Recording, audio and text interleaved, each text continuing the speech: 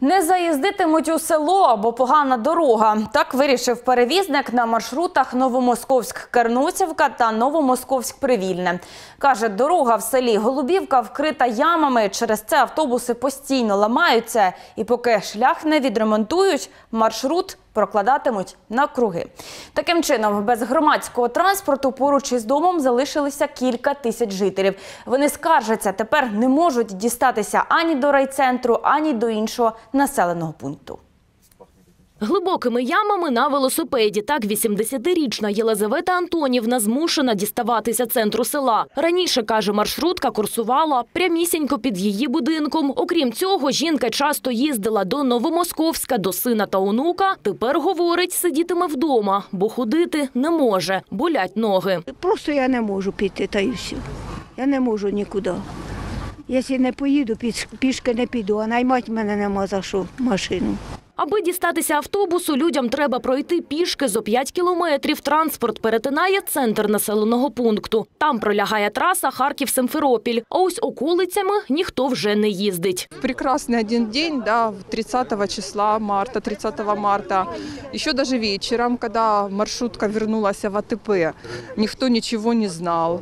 Даже, а потом уже по звонку было сказано, что 31 марта вывесить объявление о том, что маршрут с 1 числа не будет ходить. То есть, как бы, если бы нам дали хотя бы месяц, если бы перевозчик сказал, что так и так, люди, делайте что-нибудь, да, мы бы начали действовать раньше. А так, конечно, вот в 1 числа все, маршрут не приехал уже сюда. Водії та перевізник в один голос кажуть, міра вимушена, тож тепер їздять об'їзною дорогою. Мовляв, там асфальт кращий. Дорога просто ужасная.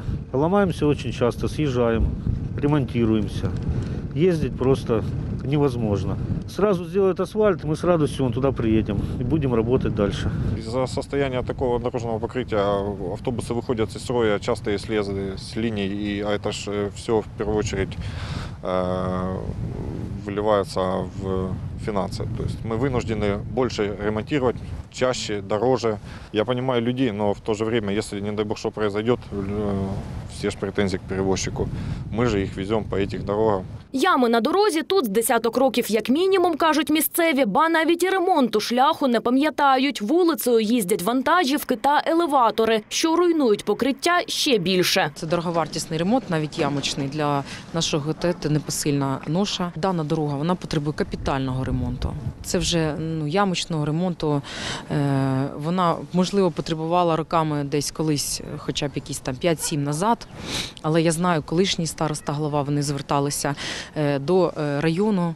е, Мені так зазначили, що неодноразово зверталися. Ну на жаль, уваги ніхто не приділяв даній дорозі. Ця дорога на балансі обласної служби автодоріг. В постанові Кабінету міністрів 122 від 17 січня 2021 року, на жаль, не передбачено фінансування цієї дороги територіального значення. Спочатку треба, щоб ми провели проектування цієї дороги. Для того, щоб провести проектування дороги, нам потрібно, щоб на ці е, на цього на ці захід були виділені гроші.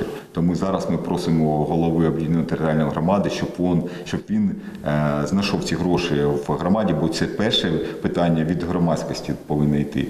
Навіть якщо гроші таки знайдуть, аби розробити проєкт та власне відремонтувати дорогу, потрібен час, скільки чиновники сказати не можуть. А поки люди продовжать ходити пішки, а водії обминатимуть проблемний шлях. Вікторія Журавель, Open телеканал відкритий.